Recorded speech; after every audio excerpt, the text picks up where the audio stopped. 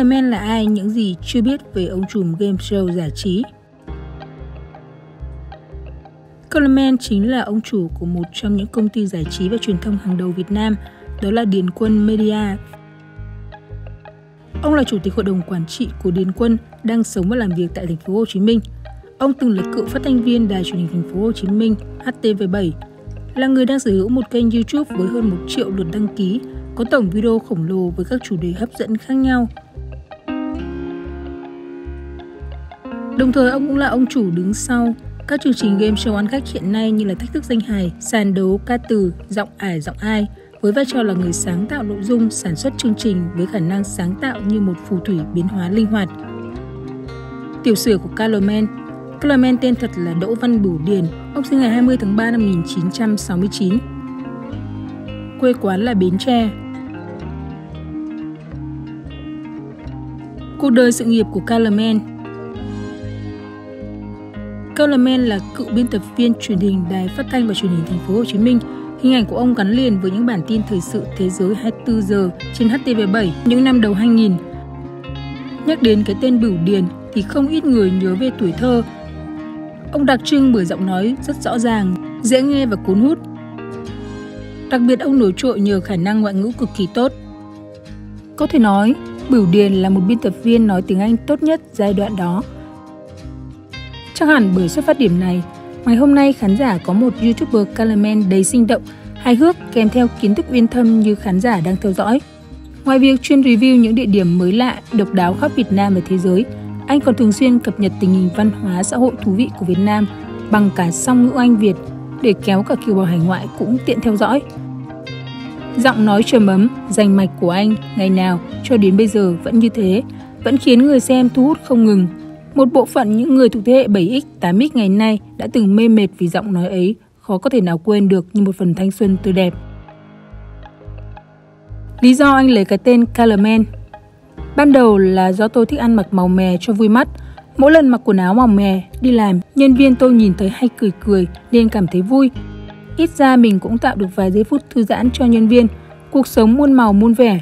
Nếu mình đem được nhiều màu sắc cho cuộc sống vào kênh này từ những câu chuyện của những người bình dị đến sang trọng, những quán ăn bình dân đến những quán sang trọng, mọi thứ sẽ rất thú vị. Năm 2008, ông đã tạo ra bước ngoặt trong sự nghiệp của mình. Bửu Điền đã rời bỏ công việc của mình cùng với người bạn của ông, quyết định dùng số vốn ít ỏi có được cùng một vài thành viên có chuyên môn về sản xuất phim, sáng tạo nội dung, giải trí, mạnh dạn thành lập công ty – từ một công ty nhỏ với số vốn theo như ông đã tiết lộ là chỉ 100 đô la mà thôi. Sau đó nó dần phát triển thành một công ty lớn mạnh, có danh tiếng chuyên cung cấp các dịch vụ về sản xuất truyền hình, quảng cáo, tổ chức sự kiện. Nổi bật bậc nhất là các game show ăn khách hiện nay như là Thiên đường ẩm thực, Giọng ải giọng ai, Sàn đấu ca từ, Thách thức danh hài và công ty đó mang tên là Điền Quân. Trên thương trường không tránh khỏi việc cạnh tranh giữa các đối thủ với nhau, Điền Quân cũng vậy, Việc các công ty ganh đua gay gắt về nội dung, hình ảnh, các chương trình truyền hình nước ngoài luôn diễn ra, người xem thì luôn có xu hướng đi theo cái mới, mau nhàm chán với lối cũ, nên việc giữ khách hàng xem là điều lo ngại nhất của công việc này. Những chương trình game show thuần Việt dần bị lãng quên, điều đó làm cho lãnh đạo công ty như chính ông chủ Carleman Bửu Điền gặp không ít khó khăn trong suy nghĩ, tìm hướng đi, sự thay đổi làm cho những đứa con tinh thần của mình ngày càng vững mạnh hơn – dù có khó khăn bao nhiêu thì với kinh nghiệm đã từng làm trong đài truyền hình, phần nào rất lớn đã giúp ông có được những nhìn nhận đúng hướng. Chính ông cũng thừa nhận và cảm ơn những kinh nghiệm ông từng có trong đài truyền hình. Ông nắm và phân tích được thị hiếu của người xem là chương trình nước ngoài và ông đã tìm ra con đường riêng của mình và thành công với những chương trình mua bản quyền có lượt rating cao, được sự quan tâm và yêu thích của đông đảo người xem. Việc này đã giúp công ty thoát khỏi khó khăn và phát triển nhanh chóng trở thành top 5 những nhà sản xuất và cung cấp nội dung hàng đầu Việt Nam.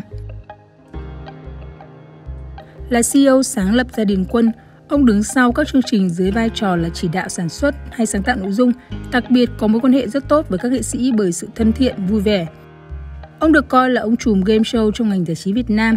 Hầu như tất cả các chương trình của công ty đều có sự hấp dẫn, sự quan tâm của khán giả rất lớn cho dù là chương trình thực tế hay sân khấu trong nhà – có xuất điểm là một biên tập viên cho đài truyền hình với hơn 20 năm kinh nghiệm trong nghề về tin tức, sự nhạy bén về thế sự đã ăn sâu vào trong con người ông và phần nào là thế mạnh của ông.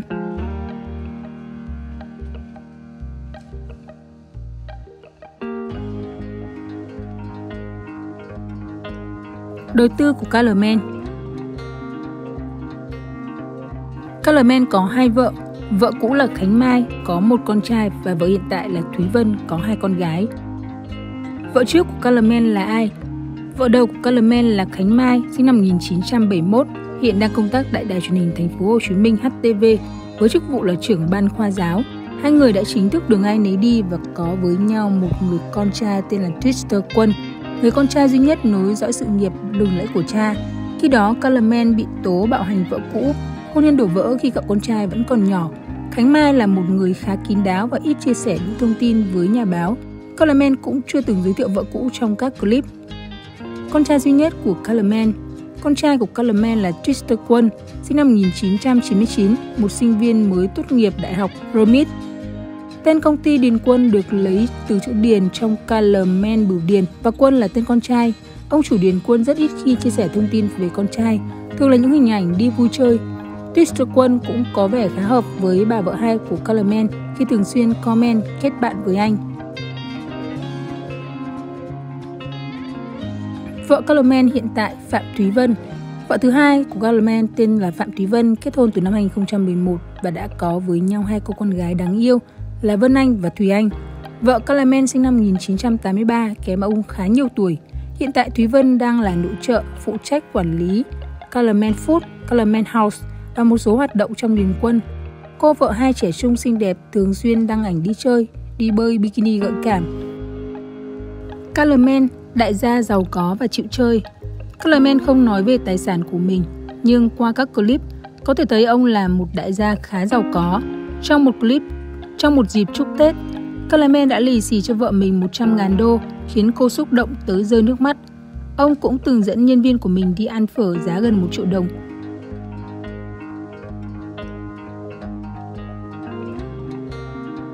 Clement khá chịu chơi và hào phóng, ông từng chấp nhận thiệt hại đến hơn 1,5 tỷ đồng chỉ để cho nhân viên về sớm cổ vũ đội tuyển Việt Nam. Dù đã kinh doanh nhiều thương hiệu khác nhau, nhưng mới đây Calamen lại tiếp tục mở thêm một quán cà phê khá lớn. Tuy giàu có nhưng Calamen vẫn khá hòa đồng thân thiện. Một fan hâm mộ của ông từng nói, tôi thích sự chân chất thật thà của Calamen, chú ấy rất vui tính và có nhiều điều đáng để tôi phải học hỏi.